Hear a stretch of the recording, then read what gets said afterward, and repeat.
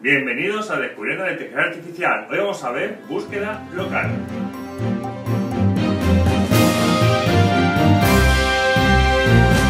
Una vez terminada lo que es la búsqueda informada, ¿de acuerdo? Vamos a empezar otra serie de eh, algoritmos eh, de búsqueda, en este caso algoritmos que se llaman de búsqueda local, ¿de acuerdo? Estos algoritmos tienen una serie de características propias que vienen a resolver un, pues un conjunto de problemas, que ahora veremos qué tipo de problemas, que lo que intentan es simplificar, o sea, lo que hemos visto hasta ahora, bueno, pues sirve para resolver, entre comillas, todo tipo de problemas, ¿de acuerdo? Aunque bueno, pues en la búsqueda no informada, pues era todo tipo de problemas, en la búsqueda informada, pues eran todos aquellos en los que podíamos determinar algún tipo de heurística, pero en general eran eh, algoritmos de propósito general, y ahora vamos a empezar a hacer una serie de algoritmos, bueno, pues en, en los que ya pues son más específicos a lo mejor de áreas concretas, ¿de acuerdo? Entonces, este, bueno, esta serie de, como digo, de, búsquedas, las búsquedas locales, pues son para un tipo de problema que además, bueno, aunque parezca mentira, sí que son bastante comunes. ¿Qué tipo de problemas eh, resuelve? Bueno, pues básicamente son los problemas que se llaman problemas de optimización, ¿de acuerdo? Y son todos aquellos problemas en los que no importa el camino o su coste, ¿de acuerdo? Es decir, sino que lo que importa es encontrar una configuración óptima. Por ejemplo, imaginaros que estáis configurando algún tipo bueno, pues de programa o, por ejemplo se está buscando eh, cuál es la distribución óptima de componentes dentro de una placa, por ejemplo, de electrónica, ¿de acuerdo? O, en, o cualquier otro tipo de configuración que en definitiva, bueno, pues lo que nos interesa es obtener, pues como digo, esa distribución óptima de componentes o esa distribución óptima de lo que sea, que en definitiva, bueno, pues eh, la forma de encontrarlo, es decir, el camino, ¿vale? No nos importa, nos da igual, o sea, nos da igual cómo hemos llegado a esa configuración, lo que nos importa es encontrar esa configuración, ¿de acuerdo? Entonces, ¿qué ocurre? Bueno, pues eh, que en definitiva, como no nos importa el camino, no necesitamos tener un árbol de búsqueda como teníamos hasta ahora, ¿no? En el que la solución realmente es el camino desde el nodo raíz hasta el nodo solución. Entonces, en este caso, lo único que nos interesa, como digo, es la confederación, es decir, el estado, el, el estado en el que representa el nodo. Entonces, ¿Cuál es la primera optimización que hace este tipo de algoritmos que va a ser muy interesante? Pues la primera optimización que hace es que solamente mantiene un único estado en memoria. Es decir, nosotros tenemos solo un estado en memoria, o sea, ni siquiera tenemos nodos y demás porque no tenemos árboles, simplemente un estado, y ese estado va a tener una serie de atributos, ¿de acuerdo? Características que en un momento dado son las que tenemos que configurar, y esos atributos, bueno, pues sus valores, lo que vamos haciendo es que vamos cambiando, pues eh, cada vez, en, cada ciclo, en cada, pues, vamos probando a cambiar un valor de un atributo eh, eh, cada vez que en un momento dado, bueno, pues lanzamos un, ciclo del, algoritmo, por así decirlo, ¿de acuerdo?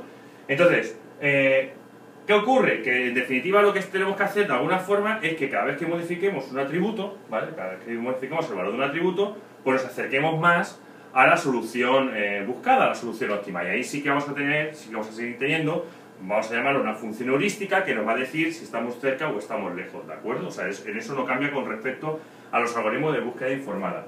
Lo que sí digo es que, claro, esto va a tener una serie de ventajas bastante grandes, ¿de acuerdo? Entre ellas encontramos estas, que son, bueno, pues la verdad es que muy importantes. La primera es que el coste espacial es constante, con lo que nos quitamos ese problema que en principio teníamos siempre de, bueno, de lo que es lo que ocupaba ¿no? el, algoritmo en, memoria. En este caso, como nada más que tenemos eh, un, estado, un conjunto de estados en un momento dado, si, la, si, la, si, el problema es demasiado complejo, pero en definitiva es un estado en el cual eh, ese estado se representa mediante atributos y esos atributos, pues en un momento dado se van cambiando sus valores, ¿de acuerdo? Entonces, lo único que vamos a tener es un estado, con lo que, como repito, el coste espacial es constante, con lo que a partir de ahora, en este tipo de algoritmos, pues bueno, no vamos a echar mucha cuenta en ello, porque como digo, eh, no, no, va a ser determinante, ¿de acuerdo? Pero esto, además, este tipo de algoritmos tiene otras características que, son que los hacen muy atractivos si se pueden aplicar. Y es que tienen una baja complejidad temporal. ¿Esto qué quiere decir? Pues quiere decir que solamente, bueno, pues en, en una serie de pasos, pues conseguimos alcanzar eh, algún tipo de solución y bueno, pues eh, con un coste computacional un poquito mayor, bueno, pues conseguimos incluso alcanzar soluciones óptimas. Pero alcanzar la solución óptima en este caso, incluso alcanzar las soluciones, no va a venir determinado, por así decirlo, por el tiempo en el que tardamos en encontrarlo, sino muchas veces, ya veremos más adelante, que va a venir determinado por las características que tenga el espacio de estados, ¿de acuerdo? más, es decir, va a ser más determinante que en sí el hecho de, bueno, pues que eh, vamos a tardar más tiempo, menos tiempo por, por el algoritmo, por la complejidad eh, del propio algoritmo. En este caso no es así. Normalmente las complejidades del algoritmo, ya veremos, son muy bajas, ¿de acuerdo? La mayoría de los casos. Y bueno, hay soluciones o sea, eh, que en, utilizando búsqueda informada pues se tardaría billones de, de, segundos y en cambio pues a lo mejor con una búsqueda de este tipo pues se tarda solo unos cuantos minutos, por así decirlo. O sea, es decir, la, la, la diferencia entre uno y otro es muy, es muy grande. Entonces, Siempre que podamos aplicar un algoritmo de búsqueda local, es mejor aplicar un algoritmo de búsqueda local antes que uno de búsqueda informada. O sea, por, por, por lo que digo, por estas dos características, ¿de acuerdo? Entonces, eh, ¿qué ocurre? Que además tienen otra, otra ventaja frente a, a, las búsquedas que hemos visto hasta ahora, las búsquedas sobre todo eh, informadas. Y es que pueden encontrar soluciones incluso en espacios infinitos o de valores continuos. Nosotros hemos visto hasta ahora que, claro, cuando nosotros estábamos en un estado, pues en ese nodo tendríamos una serie de acciones y según las acciones, bueno, pues eh, creábamos los hijos, ¿no? Los descendientes. ¿Qué ocurre? Que cuando tenemos espacios continuos, por ejemplo, pues eso no es tan sencillo, porque a lo mejor, ¿cómo determinamos las acciones que se pueden llevar a cabo? Es muy difícil, ¿no? Porque si la acción fuese modificar un valor que en un momento dado tiene valores continuos, un poquito arriba, un poquito abajo, pues, eh, ¿y, qué ocurre? O sea, que en un momento dado eh, eso se hace, bueno, pues crearía un montón, quedaría miles o cientos de miles de descendientes de un solo nodo. Entonces, claro, eso es inviable. En cambio, con este tipo de algoritmos sí que podemos trabajar con este tipo de problemas, que en un momento dado, como digo, problemas de configuración, de optimización, de configuración, pero eh, que tengan valores continuos y se puede trabajar con ellos de manera óptima, de forma que incluso, bueno, pues se encuentran soluciones en un tiempo razonable, en un tiempo bastante bueno, con valores continuos. Pero incluso pasa que aunque, que, que, bueno, pues algunos atributos tienen valores infinitos, aunque sean discretos. Entonces, ¿qué pasa? Que en ese caso, pues eh, tenemos un problema en los árboles de búsqueda, porque claro, no podemos tener un nodo con infinitos hijos o infinitos descendientes, ¿no? Entonces, ¿qué ocurre? Que este tipo de, algoritmos, bueno, pues atacan todo este tipo de problemas que hasta ahora no hemos tratado con ellos. ¿Por qué? Porque hasta ahora hemos estado determinando una serie de problemas que, como quien dice, si os acordáis, eh, cuando determinábamos cómo eran los espacios de estado, dábamos una serie de características, si eran estocásticos o si eran determinísticos, si eran discretos o eran continuos, etcétera, etcétera. Recordad los vídeos anteriores, si no lo buscáis, ¿de acuerdo? ¿Qué ocurre? Que decíamos, vamos a empezar por los más básicos, por los más sencillos, pero el mundo real eh, no es así, es decir, el mundo real es complejo. Entonces, bueno, vamos a empezar por lo más básico y aún así con lo más básico hemos estado viendo durante todos estos vídeos que surgen problemas bastante serios. Entonces, Claro, ahora ya empezamos a relajar esa, esas suposiciones. Ahora vamos a empezar a utilizar los espacios de estados más complejos, ¿de acuerdo? En este caso, espacios infinitos, espacios continuos. ¿Qué ocurre? Que para, para, eso, en un momento dado, bueno, pues vamos a empezar por un tipo de problema más sencillo, que el, los problemas de, de, de, optimización de las configuraciones, que se suele atacar, como digo, con los algoritmos de búsqueda eh, local, ¿de acuerdo? Bien, antes de adentrarnos más en lo que son los algoritmos de búsqueda local y en los algoritmos de búsqueda en general, eh, antes no lo, no, no, lo, he mostrado, hasta ahora no lo he mostrado porque no era, no era significativo o era complejo a lo mejor de entender, pero eh, vamos a empezar a trabajar con un tipo de, de, gráficos que se llaman paisajes de espacios de estados, ¿de acuerdo? Eh, en inglés creo que le llaman landscapes, pero en definitiva, bueno, en español yo lo he visto poner en algunos libros, que suelen llamar paisajes, ¿de acuerdo? En definitiva, estos, estos paisajes que no dejan de ser un, un gráfico, ¿de acuerdo? Un gráfico como, como visto toda la vida, pues tiene más o menos este aspecto. ¿Qué es lo que viene a representar? En definitiva, bueno, pues viene a representar eh, un gráfico que tiene una serie de características. Aquí he puesto la, las, más, eh, bueno, las más importantes, ¿de acuerdo? En la parte, por así decirlo, horizontal, lo que vamos a representar es la posición de cada estado, es decir, aquí cada una de las posiciones que tengan esta línea horizontal, pues va a ser, en definitiva, un, un, estado, ¿vale? Este es, por ejemplo, en este caso, este es el estado actual, ¿vale? Estaríamos aquí. De todos los estados posibles que existen, dentro del espacio de estados, bueno, pues eh, lo, lo, posicionamos dentro de una línea, por así decirlo. Vamos a suponer que, bueno, que, que estamos trabajando solo, en este caso, con, con, una única dimensión, ¿no? ¿De acuerdo? Entonces, cada estado lo podemos colocar en, un, en, una, en una zona de esta línea, en un punto de esta línea y bueno, pues en un momento dado, pues decimos, pues cada uno de los estados posibles, pues uno está, este sería aquí, este aquí, este aquí, etc. ¿De acuerdo? Entonces, estas serían las posiciones de cada estado. En el eje vertical, lo que vamos a representar es el valor de la función heurística, es decir, para cada uno de los estados, qué valor de la función heurística. En este caso, por ejemplo, este estado actual, que sería este de aquí, el circulito rojo, espero que sea bien, pues tendría este valor, el de aquí, ¿de acuerdo? El que sea. Puede estar más arriba, más abajo, ¿de acuerdo? Normalmente, cuando trabajamos con búsqueda, con búsqueda eh, local, eh, se suele buscar los valores máximos o mínimos, ¿de acuerdo? Los valores óptimos van a ser los valores máximos o mínimos que nos den la función heurística, dependiendo de lo que estemos intentando optimizar. si lo que queremos obtener es un, un valor alto o un valor bajo, ¿de acuerdo? Entonces, bueno, pues eh, tener en cuenta siempre que esa función heurística lo que nos está devolviendo muchas veces es eh, la función de utilidad, recordad de los vídeos anteriores, es decir, cómo de útil es para nosotros eso. Imaginaos en un momento dado que estamos trabajando, bueno, pues con componentes que en un momento dado pueden, según la configuración, pueden chocar unos con otros, entonces imaginaros que en un momento dado la función heurística lo que nos devuelve es el número de, de choques, el número de, bueno, pues de incompatibilidades que puedan existir, ¿de acuerdo? De restricciones que se están incumpliendo, etcétera. ¿Qué ocurre? Que, bueno, pues si nos devuelve 8, pues significaría que hay 8 compatibilidades, bueno, 8 restricciones que se están incumpliendo. Si nos devuelve 3, pues serían 3 restricciones que se están incumpliendo. En este caso lo que, lo que buscamos es el mínimo, que sería 0, ¿de acuerdo? Que no se, o sea, decir, que se cumplan todas las restricciones. En el caso de que en un momento dado estemos utilizando, por ejemplo, un algoritmo que lo que nos devuelva es el, el máximo, por ejemplo, estamos utilizando un, un, agente que lo que esté buscando es el máximo beneficio económico, económico imaginaros, ¿no? Bueno, pues lo que tenemos que buscar es el máximo, el valor máximo, la función heurística nos devuelve al máximo, entonces, bueno, pues ver, eh, en este caso, eh, eh, qué valores en un momento dado pues, nos aportan el máximo beneficio, ¿de acuerdo? Que como digo, es una especie de función de utilidad, ¿vale? Aunque todavía no hemos llegado a esa parte, pero bueno, ya más o menos en otros vídeos lo he comentado, para que lo sepáis, ¿de acuerdo? Para que lo entendáis más bien, para que de esa forma se pueda entender. ¿Qué ocurre? Bueno, pues que si nosotros en un momento dado representamos todos los estados, y, toda, y de cada estado sus valores, pues podemos, podemos, por así decirlo, dibujar una gráfica, ¿de acuerdo? Una gráfica de cada posición, bueno, pues qué, qué, qué valor tiene en la función heurística, unimos los puntos, por así decirlo, y obtenemos una gráfica. Aquí he puesto, bueno, pues una gráfica que me he inventado yo, y que viene, bueno, pues a representar una serie de eh, características notables, ¿de acuerdo? Estas gráficas, pues van a tener, eh, como digo, máximos y mínimos, ¿vale?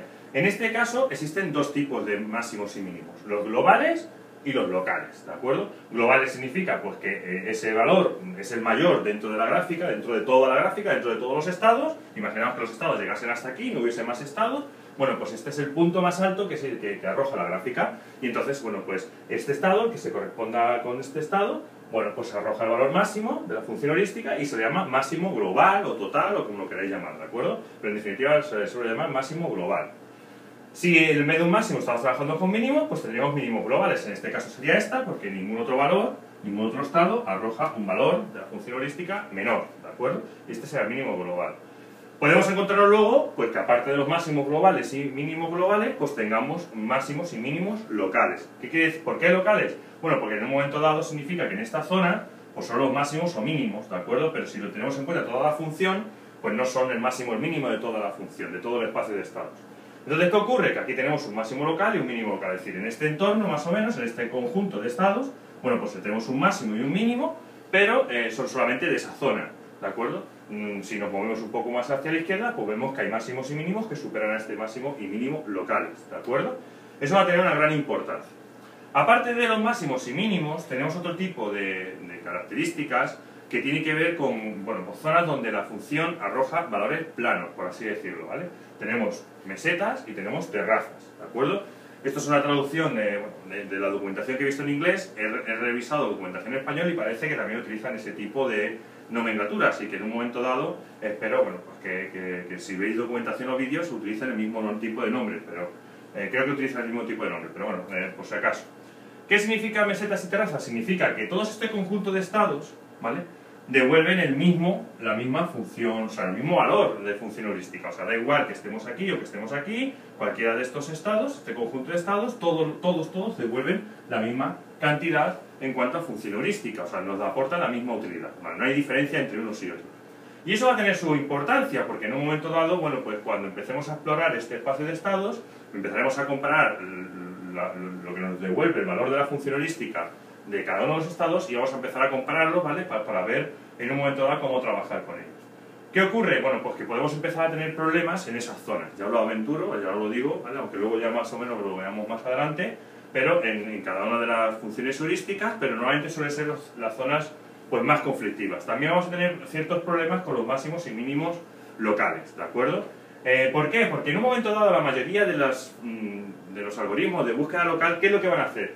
Pues lo que van a hacer es que, estando en un estado actual, lo que van a hacer es que si, si lo que quieren es eh, alcanzar pues un, valor máximo pues lo que van a hacer es eh, buscar vecinos, por así decirlo, estados vecinos, eh, o sea, es decir, que estén cerca de él, que tengan, que arrojen valores de la función heurística mayores, en este caso la flecha roja que va hacia arriba, ¿de acuerdo? Entonces, en un momento dado, por así decirlo, lo que nos interesa es escalar, ¿de acuerdo? Subir, por, este, por, por, así decirlo, por la pendiente, para alcanzar pues, valores mejores a, a este estado que tenemos actual.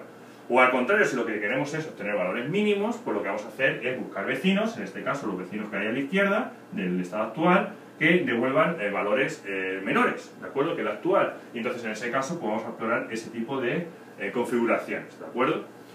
¿Cuál es el problema? ¿Cuál es uno de los problemas que nos podemos encontrar? Que bueno, si nosotros nos centramos en una zona, pues explorando los, vecinos del estado actual, pues podemos ver eh, cuáles, son, cuáles son los vecinos que tienen mejor configuración y cuáles son los que tienen peor configuración, según ya digo, la función heurística. Y podemos en un momento dado pues, movernos hacia, esos vecinos. Entonces, el estado actual en definitiva es como una especie de punto rojo que recorre la función eh, eh, a lo largo, bueno, pues según vamos cambiando de estado, pues a lo largo de la función, ¿de acuerdo? ¿Qué pasa? Pues lo que puede pasar es que, claro, si nosotros estamos en una zona, pues no sabemos esa zona eh, si llegamos, por ejemplo, aquí a este máximo, pues si, no, si llegamos a ese máximo no sabemos si ese máximo en principio es local o global. Cuando tenemos una gráfica de todo el espacio de estados, como en este caso, pues se puede ver fácilmente. Pero cuando esto, por ejemplo, imaginaos, se mete en una dimensión, pues tiene múltiples dimensiones y, arroja bueno, pues superficies muy complejas y demás, con muchos picos, con muchas historias, bueno, pues eh, la realidad es que no podemos saberlo. Entonces, eh, hay algoritmos que lo que intentan, que lo que van a intentar es bueno, pues encontrar esos máximos globales, que en definitiva son las soluciones óptimas, eh, y bueno, pues también en principio todos van a intentar eh, devolver un, máximos locales que serían soluciones o, que estuvieran, o soluciones o posibles soluciones que, al, problema, ¿de acuerdo? Pero lo, ideal es encontrar ese máximo global o mínimo global que en un momento dado sí que nos arroje la solución, la solución óptima, ¿de acuerdo? Bien, eh, este ha sido un vídeo pues, introductorio a las búsquedas locales, no he querido todavía entrar en ningún, pues, en, como que dice, ningún algoritmo concreto, simplemente pues aventuraros un poco las herramientas y primero las características que tienen ese tipo de búsquedas y para qué se usan. Y luego, bueno, pues básicamente lo que es eh, pues las herramientas con las que vamos a tener que trabajar, en este caso eh, lo que son los paisajes, lo, lo llaman paisaje, pero bueno, los gráficos en definitiva, los gráficos con los que vamos a trabajar. En base a esos gráficos nos va a ayudar a explicar muchos de los algoritmos, por eso me he detenido a explicarlo lo más detenidamente posible. Si tenéis cualquier duda, ya sabéis, me lo dejáis, ¿vale? En los comentarios, porque ya sabéis que me gusta que participéis y que colaboréis. Y que me hagáis llevar, bueno, pues opiniones y, bueno, pues posibles ideas, posibles mejoras, que siempre, pues ayudan a mejorar y nos ayuda a todos, ¿de acuerdo? Y poco más, simplemente deciros que a partir de ahora voy a intentar hacer vídeos más cortitos, ¿de acuerdo? Porque, bueno, creo que los vídeos también necesariamente largos tampoco no, no terminan de ser lo, ideal, ¿vale? Lo suyo es hacer vídeos un poco más cortitos, pero que, bueno, pues eh, eh, si en un momento dado tenemos que dividir un algoritmo en dos o tres vídeos, pues lo hacemos, pero que en un momento dado pues, podamos eh, mostrar más ejemplos, en un momento dado podamos bueno, pues explicar las cosas un poquito mejor. Daros cuenta que a partir de ahora eh, los algoritmos se complican. Entonces, por eso prefiero hacerlos más cortos, porque a lo mejor en un momento de dar un vídeo pues vemos el pseudocódigo, explicamos el pseudocódigo, en otro vídeo explicamos, bueno, eh, explicamos ejemplos y demás, ¿no? Y eso nos, va a ayudar, pues, en vez de hacer solo un vídeo con cada uno de los algoritmos, que hasta ahora como eran bastante sencillos, bueno, pues era relativamente eh, fácil y en un mismo vídeo pues podía meter el pseudocódigo, la explicación, algún ejemplo, etcétera, ¿no? Pero yo creo que es mejor que a partir de ahora lo hagamos pues más, más cortito, ¿de acuerdo? Así que nada más, ya sabéis, si os ha gustado el vídeo, le dais a me gusta, ¿vale? Y recordad suscribiros al canal, que siempre, bueno, pues ayuda porque eh, estoy publicando tres vídeos, tres vídeos, ¿vale? Perdón, tres, tres, tres vídeos ¿eh? a la semana, uno los lunes, otro los miércoles y otro los viernes, ¿de acuerdo? Eh, hasta ahora había estado haciendo vídeos de los tres enfoques que existen, ¿de acuerdo? Es decir, grafo, búsqueda en grafos, búsqueda, tratamiento de la incertidumbre mediante probabilidad y lógico, ¿de acuerdo? el uso de la lógica. Eh, la lógica la hemos dejado aparcado de momento, aunque lo vamos a retomar, pero estoy utilizando, bueno, estoy haciendo vídeos de los otros dos enfoques, ¿de acuerdo? Entonces, nada más, ya sabéis, hasta pronto.